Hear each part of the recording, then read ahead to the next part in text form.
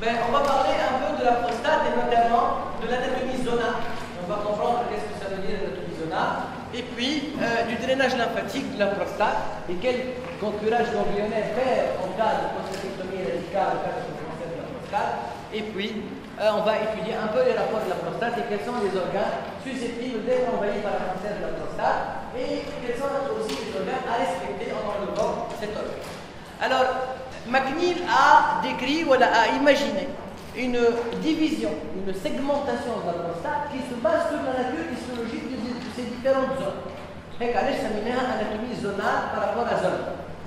Donc, euh, d'abord, on va parler un peu de la, prostate, qui est une glande annexe exocrine de l'appareil génital masculin, qui est un et qui représente un carrefour urogénital, parce qu'elle est traversée par l'urètre et par les deux canaux éjaculateurs. Elle secrète le liquide séminal, elle a la forme d'une châtaigne, châtaigne هو القسطل كما به. قسطل c'est un fruit sec, je ماش موجود برشا في Elle pèse à peu près 20 à 25 grammes et au, fur et à mesure de là, elle va subir une sorte de dégénérescence musculaire et elle va augmenter de poids jusqu'à arriver à 70, 80, 100, 120 grammes, 130 grammes et causer des problèmes urinaires évidemment. Alors, à cette prostate, sur cette vue agrandie, sur cette coupe sagittale, sur cette coupe sagittale, vous avez ici le rectum en arrière, ah, le rectum, le cul-de-sac de Douglas, la vessie, la prostate, la vésicule séminale, le plexus veineux plurivesical de Santorini, ce sont les veines prévésicales, et le pubis. Et donc, les veines, euh, faire attention, à chaque fois que tu fais un cathéter suspubien, tu dois être perpendiculaire par rapport à la peau. Parce que si tu fais un cathéter suspubien en glissant vers le bas, tu peux cathétériser les veines suspubiennes et ça fait une hémorragie assez désagréable qui peut imposer même parfois une intervention chirurgicale pour faire la prostate. Donc faut être toujours perpendiculaire à la peau, euh, à cette euh, prostate, on va décrire d'abord une face antérieure qui répond à ce plexus veineux de Santorini et au pubis, une face postérieure qui répond vraiment au contact du vecteur par l'intermédiaire du fascia de Denon-Velier et qui est caractéristique cette face postérieure parce qu'elle a un sillon médian et à chaque fois que tu fais bouchée rectale, tu passes le sillon médian et ce sillon médian disparaît. C'est un signe de la prostate. La disparition du sillon médian. On a un bec ou un sommet par lequel émerge l'urètre et une base au-dessous de la vessie. Et puis vous voyez l'urètre qui traverse la prostate et le canal éjaculateur, de, que ce soit le droit ou le gauche, on verra les deux, les côtés. Donc, urètre, canal éjaculateur qui est la somme canal déférent vésicule Donc, les deux canaux éjaculateurs en arrière, aussi en médian. La base de la prostate et l'urètre. Et effectivement, donc la prostate se perd bien à l'exploration par le toucher rectal. Alors, l'anatomie zonale de McNeil, c'est une anatomie qui a été orientée vers la chirurgie et vers euh, l'explication de l'envahissement, que ce soit euh, tumoral malin ou bénin de chaque zone. Oui, nous avons l'adénome, oui, nous avons le cancer. Alors, il se trouve que cette euh, anatomie zonale de McNeil a, a divisé la prostate en cinq zones dont deux zones principales qui représentent 95% de la masse prostatique chez le sujet. 90 à 95%. Ce sont la zone centrale et la zone périphérique. Ce sont des zones glandulaires. Et puis, trois autres zones, 5 à 10% chez le sujet jeune, elles vont augmenter de plus en plus de pourcentage avec l'âge. Ce sont la zone de transition, la zone glandulaire, glandulaire et la zone fibromusculaire Transition périurétrale musculaire antérieure, vous n'avez rien compris, c'est normal. Donc la prostate, l'urètre et les canaux pour le canal et j'ai Bien. Regardez, la zone centrale, elle représente 25% de la masse prostatique. إذا السنترال والبريفيريك 95% شكون donc la zone la plus importante de la prostate C'est la zone périphérique 70%. Donc la zone centrale, c'est 25% de la masse prostatique Et on la trouve au niveau de la base de la prostate, tout autour du canal éjaculateur. Donc ici, elle est la zone centrale. Voilà, c'est la zone centrale. 10% des cancers se développent ici. Là, vous la voyez ici, tout autour des canaux éjaculateurs, sur cette coupe horizontale. Après, et vous la trouvez, la centrale, ici, autour des canaux éjaculateurs.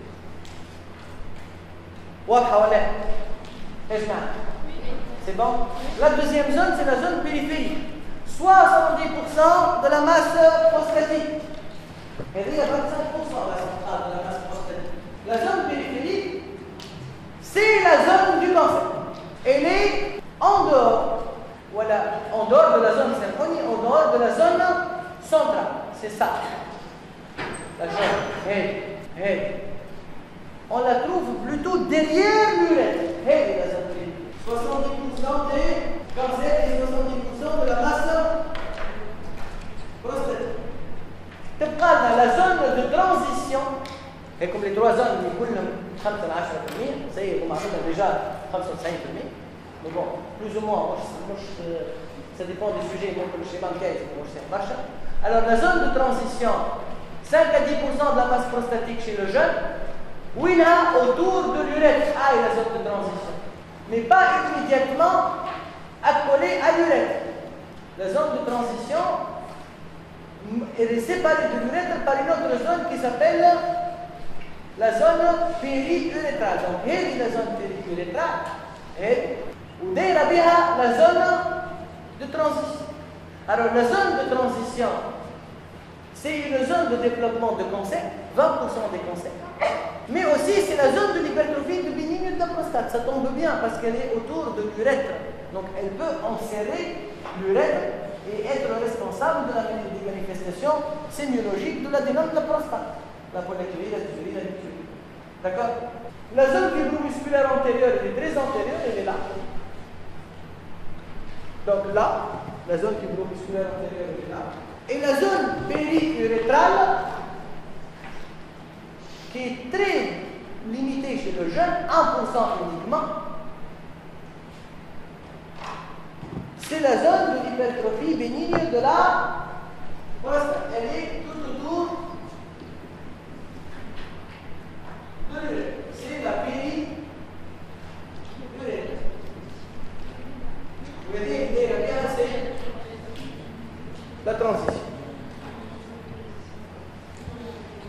Donc, cinq zones. Regardez sur les différents schémas. Et c'est la centrale. Et les cancers peuvent donner ici de l'hémospérine, parce que c'est autour du canal gigantesque. La périphérique au-dessous, 70%. Hein? Et la centrale, c'est 10% des cancers. La périphérique, c'est 70% des cancers. عندنا زاد لهنا هذه شنو la péri urétrale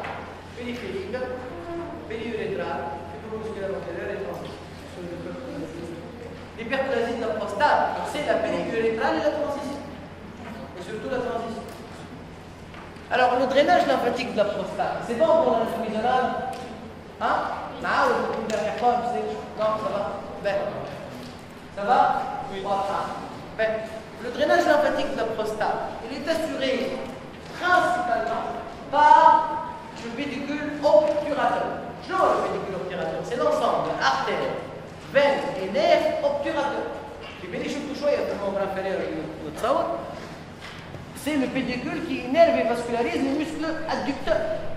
Les muscles adducteurs, grands adducteurs, longs adducteurs et courts adducteurs et pectinés sont innervés par le nerf obturateur. D'accord? Qui sort du trou obturateur ou le foramen obturé de l'ocycle.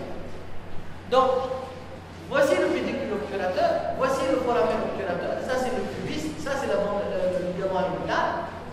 Et ces ganglions, ce sont les compliants principaux du drainage lymphatique de la prostate, auxquels accessoirement on peut ajouter aussi les ganglions iliacantaires et d'une façon très secondaire iliaque-externe. Alors, l'application clinique, c'est qu'avant de faire une prostatectomie radicale, on commence par faire un curage des C'est ce qu'on appelle le curage ilio-GM, iliaque obturateur. S'il y a un envahissement, on s'arrête. S'il n'y a pas d'envahissement, on peut faire une prostatectomie radicale curative. Alors, le curage iliaque ilio-obturateur avant la prostatectomie radicale, quelles sont ses limites? Quels sont les ganglions à emporter? Ah, On emporte les ganglions limités en haut par la veine iliaque externe. La veine iliaque externe, on n'a pas besoin d'aller jusqu'à la tête, par la veine iliaque externe. En bas, par le nerf obturateur. Et en dedans, par la tête iliaque interne ou la tête hypogastrique. C'est-à-dire enlever la masse lymphatique qui est là. Donc, en haut, la veine iliaque externe, en bas, le nerf obturateur, et en dedans et en haut, l'artère hypogastrique, c'est-à-dire vers ce D'accord? C'est bon? Alors quels sont les rapports de la prostate? Il faut savoir, savoir que la prostate est située dans une loge qu'on appelle la loge prostatique, et cette loge prostatique s'ouvre en haut sur la loge vésicale. Ici prostate. Donc ce n'est pas une loge fermée, elle est ouverte en haut sur la loge vésicale. Quelles sont les limites de la loge prostatique En avant, pubis et plexus veineux prévisical de son Tourigny. Ben, en arrière, et par l'intermédiaire du rectum Jeanne, la ponévrose de, de. C'est la ponévrose recto-prostatique. Ah, et la séparation à dire, je vous faire. Latéralement, Jeanne, avec schéma, il a amené ça, les lames, ça bouge et bien. Et en bas, le péri périnée parce que la prostate repose sur le plan profond du périnée. Donc ce sont les limites de la loge prostatique. En haut, la vessie. En avant, le pubis, c'est le plexus veineux de Santorini. En arrière, c'est le fascia de Don Latéralement, les lames sacroiliato-pubiennes. Et en bas, le périnée. Alors, ce, cette prostate dans sa loge est en rapport avec les éléments anatomiques du pénis. Alors, on va commencer chez l'homme et par la suite, on va faire chez la femme. C'est ce qu'on appelle les glandes périurétrales de Skerns. D'ailleurs, ça a été. L'urètre chez la femme est entouré par un ensemble de glandes qui s'appellent les glandes périurétrales de Skins. Et d'ailleurs, ça, a été adopté une proposition de nomenclature في أورلاندو عام 2001 وسموها تو les dictionnaires d'anatomie تلقى اسمها la prostata fémina. Et la prostata fémina, par définition, c'est l'ensemble des glandes périurétrales qui interviennent dans la lubrification du vagin lors du rapport sexuel et qu'on appelle les glandes de Skins. Donc, euh, moi la prostate féminine. Donc, euh, les rapports en avant de la prostate, qu'est-ce qu'on a? Le plexus prévisical de Santorini et la, le pubis. En arrière, le recteur et par l'intermédiaire du recteur, le, le plan de l'embellier. En haut, Jeanne, la vessie joue القدام لا فاس انتيريور de la vessie والتالي le bâton vésical. Ah, le bâton vésical. وشنو هذا؟ La vésicule séminale et le canal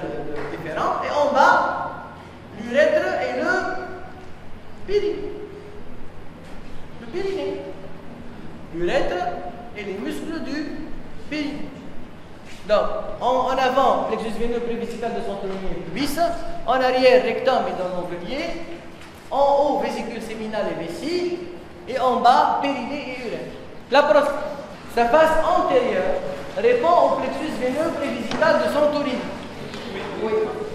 Sa face postérieure répond directement à l'entrée rectal par l'intermédiaire du fascia de non Sa base répond en avant, à, de l'urètre au bas fond vésical.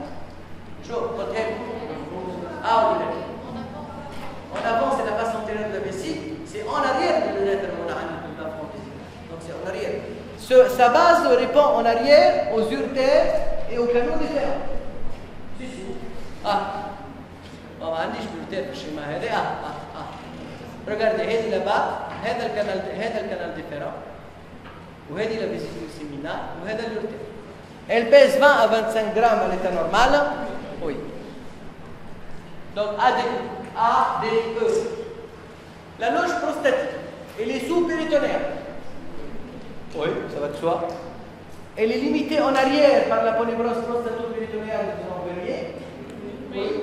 Elle est limitée en bas par le plancher pelvien, voilà, le périnée. Oui. Oui. Elle est ouverte en haut sur la loge vésicale. Oui. Elle est complètement fermée. Non. A, B, C, D. 3. La zone centrale de McNeil représente 25% de la masse prostatique. Oui. oui. Située au niveau de l'apex. Située au niveau de la base. Elle est autour des canaux différents. Non, autour des canaux éjaculateurs. Les canaux différents ne sont pas dans la prostate, ils sont dehors. Il y a, dans la prostate, il n'y a que les canaux éjaculateurs. Siège 90% des cancers, 10% uniquement, est une zone glandulaire. Oui, ce sont des zones glandulaires. A, E. 4. Le drainage, la de la. Assuré principalement par le groupe ombilical, par le groupe obturateur. Le relais obturateur est le relais principal. La voie de drainage iliaque externe est une voie principale. Non. Non, non, le principal c'est l'obturateur. Donc, le curage du obturateur a pour limite interne de l'artère hypogastrique. Oui. Et le curage du obturateur a pour limite interne l'artère vésico-prostatique. Non. Les trois limites du curage, boum. En dehors, la veine iliaque externe. En bas, le nerf obturateur. Et en dedans et en haut, l'artère hypogastrique. Voilà, il y a un. B, D. Énumérer les chaînes de drainage lymphatique de la glande prostatique, je principal, obturateur ou accessoire, iliaque interne et iliaque externe. La voie, euh, décrire la loge prostatique, alors la loge prostatique est une loge sous-péritonéale, ouverte en haut sous la vessie, sous la loge qui contient la prostate, ses vaisseaux et nerfs, la prostate, ses vaisseaux et nerfs, et le plan séminal, et le plan séminal. D'accord Limité, qui contient la prostate, ses vaisseaux et nerfs, et le plan séminal. la vésicule séminale, partie terminale du canal, du canal différent. Alors, quelles sont ces limites معلش نعمل ايه رقم بقى يقول لك décrire la description d'une loge je dis la loge, qui a une boîte à allumettes. Tu décris la boîte, le contenant, bah le contenu. Donc on a décrit le contenant, euh, le contenu. Prostate, ou plan séminal, loge sous-péritonéale, etc. Tu vois le contenant? Quelles sont les limites? Elle est limitée. En avant. Par le plexus de son chronique, le digital de son chronique. En arrière, par le fascia de, de l'ombelique latéralement par les lames sacrogénitopubiennes, LSGP, LSGP, en haut par la vessie, et en bas par le périnée, en avant, plexus centorique, en arrière, dans l'embellie, latéralement, LSGP, en haut, la vessie, en bas, le périnée. Décrire l'anatomie zonale de la prostate selon McNeil, alors, énumérer les rapports de la prostate. Alors, en avant. Comment dire ça Les en arrière. Voilà. Décrire l'anatomie zonale de la prostate selon McNeil. Cinq zones, le principal. La limite de la machine. La limite de la bonne grosse, c'est l'envoyer. On va les C'est le de la rapport. Euh, cinq zones, c'est une division chirurgicale. Deux zones principales, la centrale autour des canaux éjaculateurs, 25% de la masse prostatique, 10% des cancers. Cinq zones, deux principales, la centrale et la périphérie. Ce sont des zones glandulaires. La majorité des cancers se développent au niveau de la zone périphérique. Et trois zones qui représente 5 à 10% de la masse prostatique, la zone périurétrale, transition et fibromusculaire tête. Le cancer de la prostate se développe le plus souvent au dépens de la zone périphérique.